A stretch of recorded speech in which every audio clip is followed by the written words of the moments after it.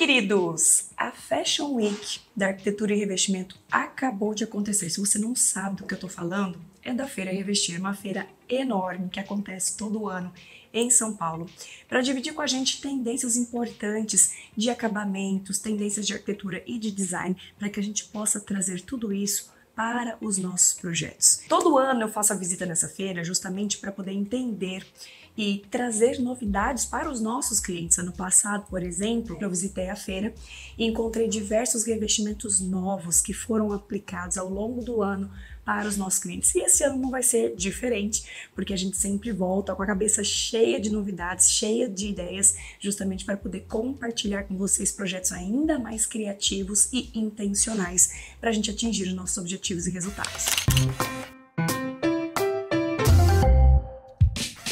Agora, se você chegou hoje neste canal, Bem-vindo! Eu sou Cacá Ribeiro, arquiteta especialista em design de varejo e visual merchandising. Inscreva-se neste canal, o canal mais queridinho do Brasil que compartilha com você conteúdo relevante, conteúdo de peso para o varejo. Então, inscreva-se no canal, cola na Cacá aqui e vamos aprender comigo neste vídeo as três percepções que eu tive dessa feira de 2024. Primeira percepção que eu tive está diretamente ligada, inclusive, a um vídeo que eu já falei sobre tendências de comportamento de consumo. Exatamente.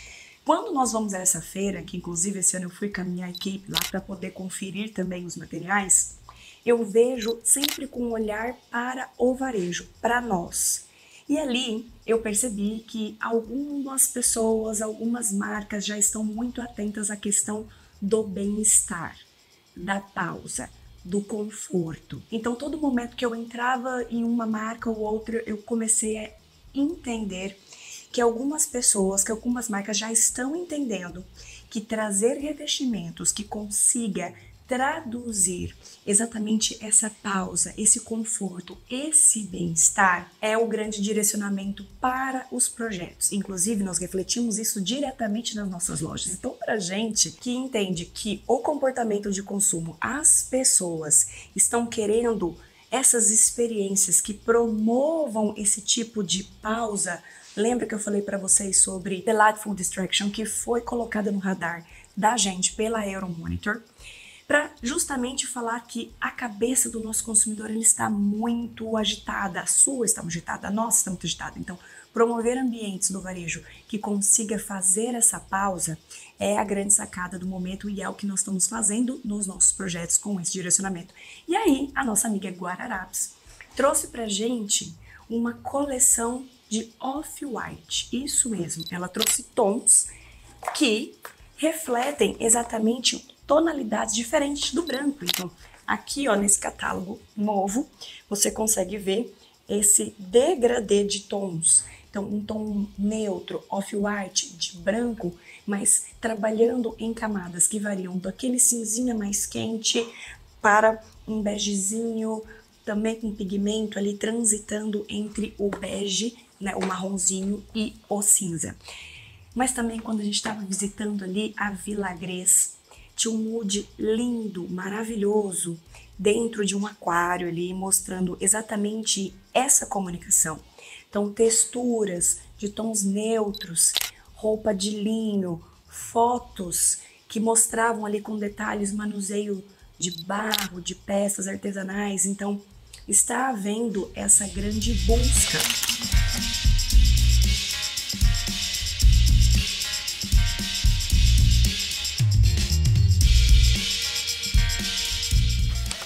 Outra peça que me chamou muita atenção também foi o kit Gales da Portinari. Gente, esse piso é maravilhoso. É um kit que vem formado com oito peças e você consegue montar um piso orgânico com uma sensação maravilhosa. Enquanto eu caminhava ali pelo estande da Portinari, que estava totalmente revestido com esse grande lançamento, mostra pra gente essa ideia de trazer as camadas mais orgânicas, mais neutras e também com essa pegada mais natural. Então a gente consegue ver claramente por meio desse lançamento que ali houve uma busca em fazer essa união entre a pausa, entre o neutro, entre o orgânico, para que a gente pudesse ter essa sensação de maior bem-estar dentro da nossa loja.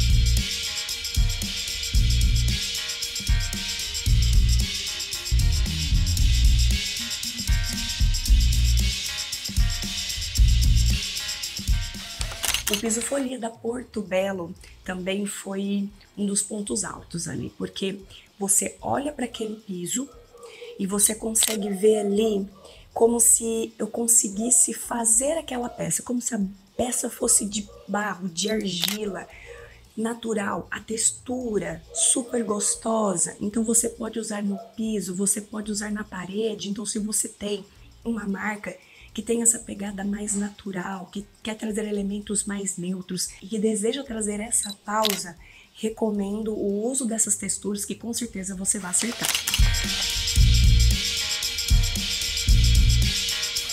Mas também outra grande tendência que eu venho falando para vocês aqui neste canal é sobre a personalização.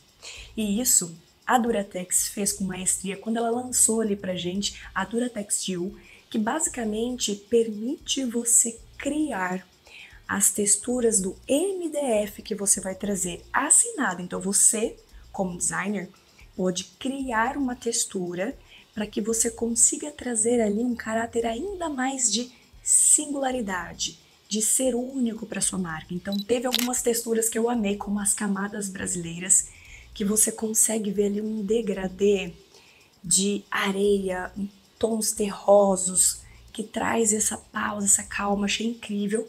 E ela é uma textura bem gostosa, um visual bem agradável que traz isso para os nossos olhares. Mas também encontramos ali esse outro revestimento, essa outra textura também dessa linha da Duratex U, canelado.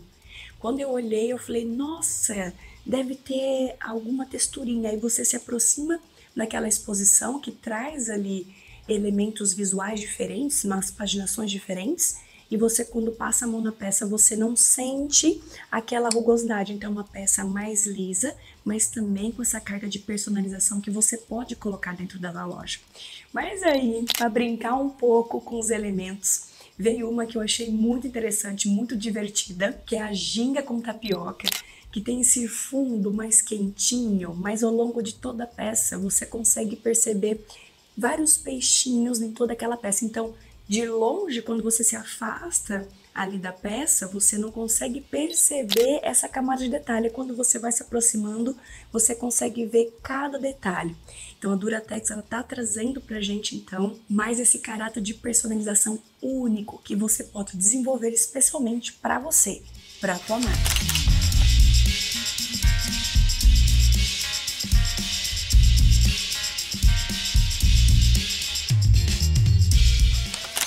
Também queria falar da Meu Rodapé. A Meu Rodapé, ela desenvolveu o ano passado esses EVAs com essa ideia do ripado. Isso daqui, gente, é um EVA, tá vendo? É um EVA e na frente você tem uma camada de laminado melamínico aqui na frente. E atrás é como se fosse aquela parte do dupla face.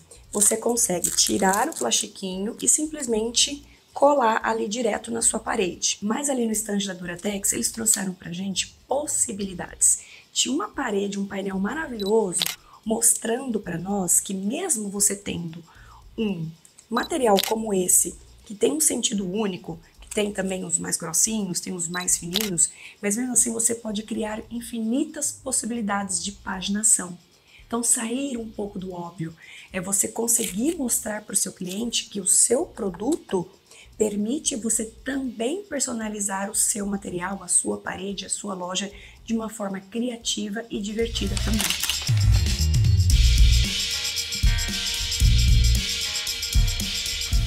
E agora a última percepção que eu tive foi laranja, laranja, laranja. É isso mesmo, laranja. a maioria das peças estavam sempre com essa tendência de trazer um pouco dessa cor. Então eu vi cuba, eu vi peças de revestimento ao longo de toda a feira, tinha sempre um elemento nesse tomzinho do laranja. E eu quero trazer para vocês um que eu adorei, que é da Bernec. Deixa eu pegar aqui, olha só. Gente, presta atenção. Isso aqui é ouro. é o tabasco com uma micro textura, uma textura super gostosa que foi desenvolvida pela Bernec no stand. Isso aqui com a iluminação estava trazendo uma energia, mas pensa só. Você tem uma camada do laranja, mas você não vê assim um laranja muito eufórico. Você vê um laranja mais presente, mas ele tem uma textura, um fundinho quente que faz com que esse material dentro da tua loja ele não fica naquela cor muito energética. Então ele traz uma potência, uma força, mas sem ser muito energético. Eu adorei esse tonzinho e também tivemos na Arauco que trouxe uma coleção maravilhosa, que é a coleção Tons do Brasil. Basicamente, eles inspirados em paisagens do Brasil, eles foram trazendo para nós algumas possibilidades. E aqui veio o jalapão, justamente uma cor vibrante, energético com um terroso mais ao fundo, que remete à natureza, que é esse tonzinho aqui, ó, do jalapão. Então, também uma ideia do, do laranja, também uma ideia desse tonzinho mais terroso, mas que traz ali esse tonzinho mais aconchegante também para dentro da nossa loja. Queridos, espero que vocês tenham gostado dessas percepções que eu trouxe aqui para vocês, que dividi aqui com vocês. Se vocês tiverem alguma dúvida, vamos explorar essa aba comentários. Esqueci de pedir like. Olha só a minha cabeça. Então aproveite, já deixa esse like aqui. Prometo para você que não vai cair o dedo, tá bom? e também, é claro que se você quiser um direcionamento criativo e estratégico para a sua marca, estou aqui para te ajudar a transformar o seu negócio. Mas eu preciso que você faça uma coisa. Apenas entre no link que está aqui abaixo, preencha o formulário, que logo a gente entra em contato com você para entender melhor a sua demanda e dar o melhor direcionamento para sua marca, tá certo? Um beijo da Cacá para todos e até o próximo vídeo. Olá! Se você... Não, é, é, é, já foi essa parte aí. Pronto. Você nem começa. Nem começa. A marvada pinga! Cala a boca, tu é muito chato! Minutinho, Alan. Delightful Distractions. Isso aí.